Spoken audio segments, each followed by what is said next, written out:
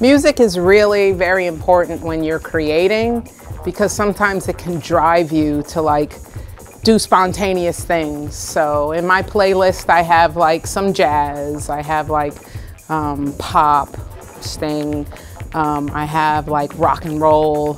Um, I have all kinds of music, various genres. And sometimes in the beginning, I like to start out with like, you know, some jazz and easy listening and you lay it down. But then when you get to the point where you know what you want and you have on something that's like driving that, you know, you can use the music, you can use that emotion to like, well, that's how I do it.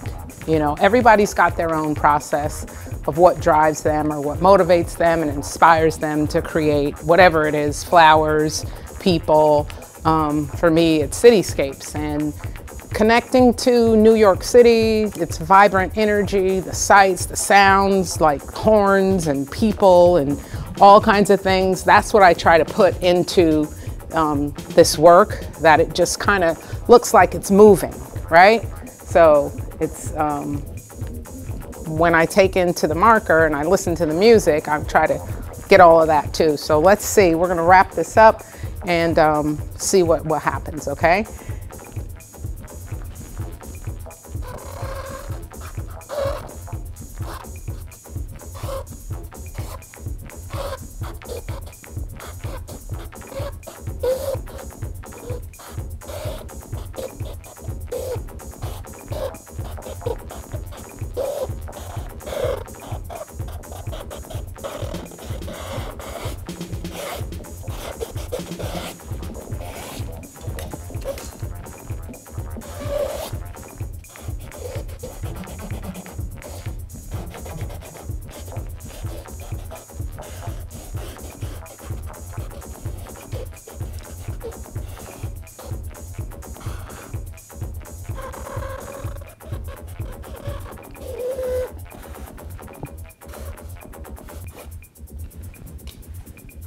Now I'm actually going into it with the marker and even though I have a few spots that are wet, they're not keeping me from using a great part of the marker. So sometimes I just like wipe that off, wipe that excess paint off, shake the marker up.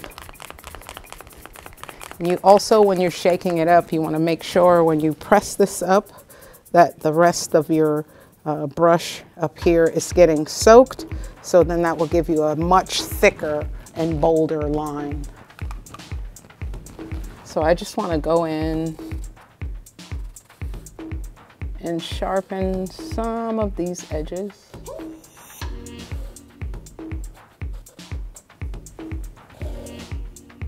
And where I can get close to the paint, then I'll do that.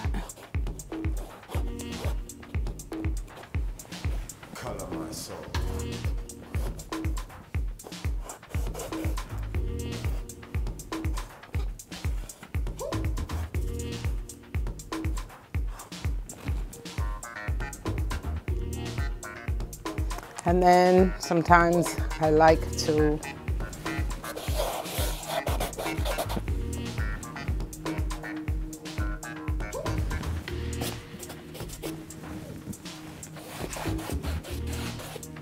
we know there's action going on here. So when I'm doing these, it's, um, again, I'm talking about how energetic the city is, how eclectic it is. It's like a lot of moving parts, right? People, cars, um, just everything. And so a lot of the times I'll go in and add some of these things that indicate that movement, okay? I like to get these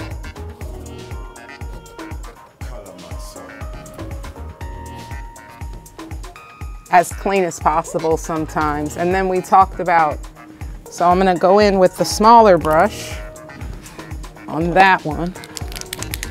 And I talked about someone's balcony, right?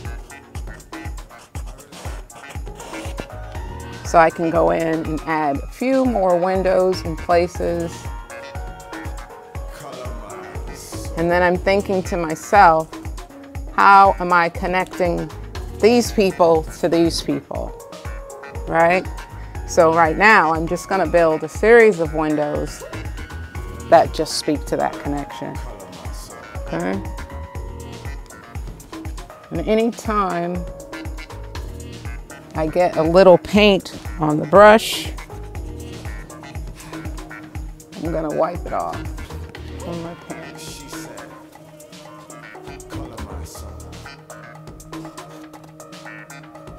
The bigger the windows are, you know that's fancy, like a penthouse. They got a lot of space there. So, yeah, these are like, yeah, Bruce Wayne type money. How about that? And they got space. They're not all crammed up like maybe these people down here. All right, there's a lot of people down there. Okay, I'll go over and get some here.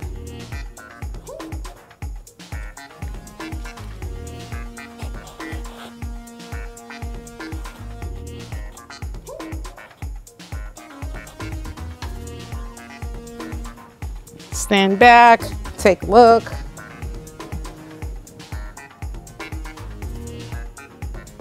I'm gonna come back in and sometimes I like to give myself, I'm gonna do 20 more windows, right? Because I know that I want a lot more in order to make that connection.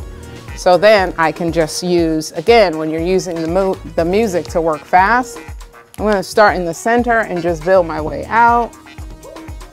Two, three, four, five,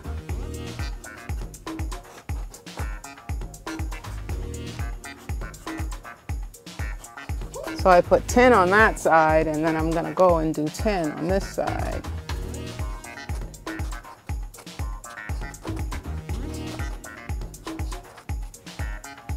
I'm adding more because I saw that that space did not have any. So you wanna make sure every space has a little bit of windows. Sometimes I even use um, I'll show you what I brought with me. Sometimes I use things like mirrors. This is a mirror, a little piece of tile, actually.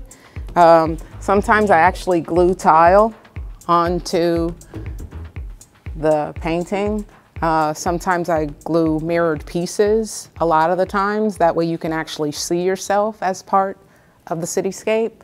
And sometimes I just use this as a template. I'll show you. Got to make sure the spot is dry. So this is giving me a great little shape there and I can use it.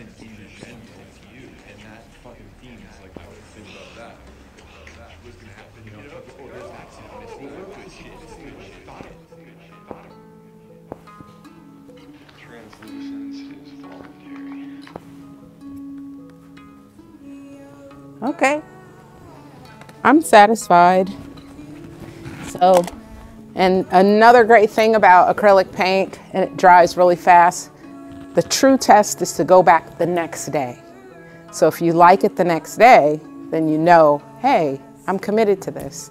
And then you add maybe, like I said, the embellishments for me would be the mirrors or um, the tile pieces or anything to give it kind of re a reflective surface.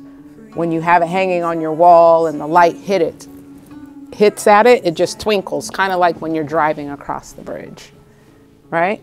So don't be afraid to try some abstract painting, find the thing that you love to do, and just work on it. Pieces of paper, um, canvas. I work on various materials.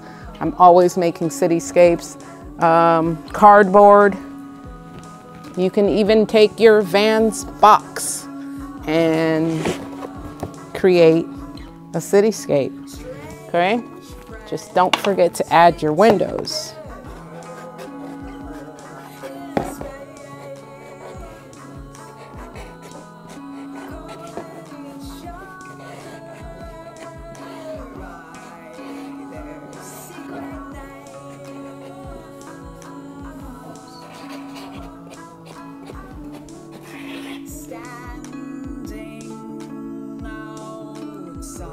Don't be afraid to experiment. The great thing about acrylic paint, even if it was oil paint, is you can always do it again.